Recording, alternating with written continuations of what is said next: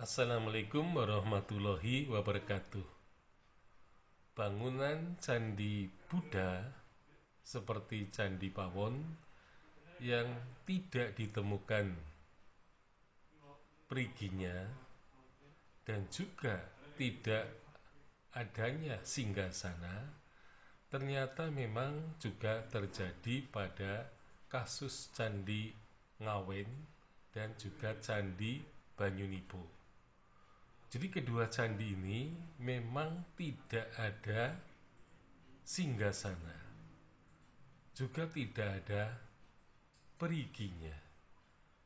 Hal itu menunjukkan bahwa bangunan Sandi Ngawen dan Banyunibo memang bukanlah bangunan untuk pemakaman dan juga sama dengan Candi Pawon.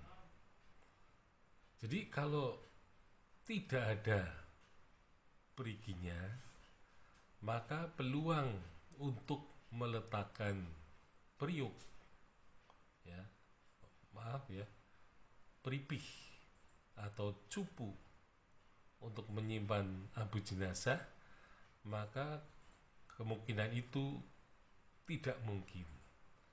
Jadi sebuah candi bisa ditemukan peripihnya kalau ada periginya. Nah, jadi Candi Ngawen dan Banyunibo ini merupakan kedua candi Buddha yang tidak ada periginya, berarti juga peripihnya tidak ada. Kemudian juga tidak ada singgasananya. Jadi ini kasusnya sama dengan Candi Pawon sebenarnya. Nah, tentu saja tadi Candi Pawon Kasparis de Kasparis hanya mengandalkan interpretasi berdasarkan nama candi yang masih tersisa dalam kehidupan masyarakat. Nah, sehingga nama Candi Pawon itu merupakan nama yang sebenarnya ya,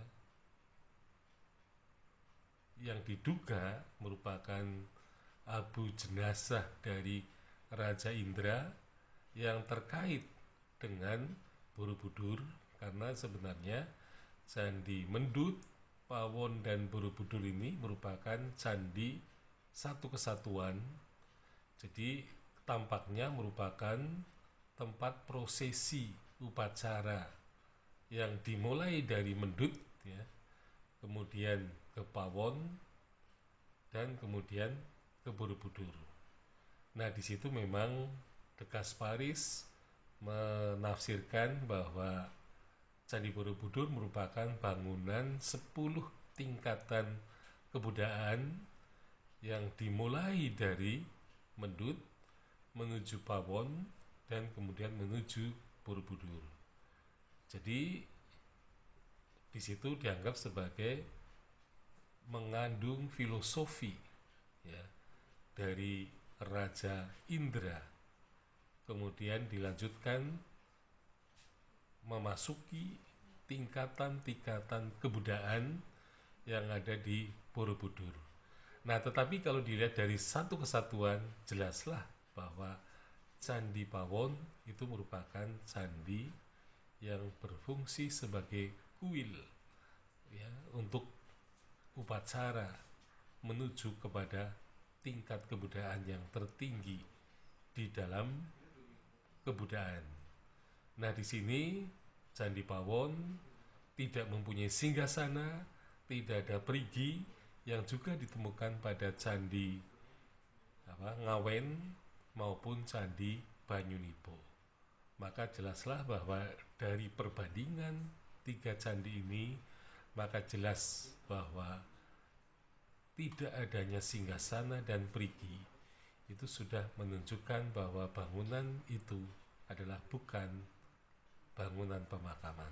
Sekian, Assalamualaikum warahmatullahi wabarakatuh.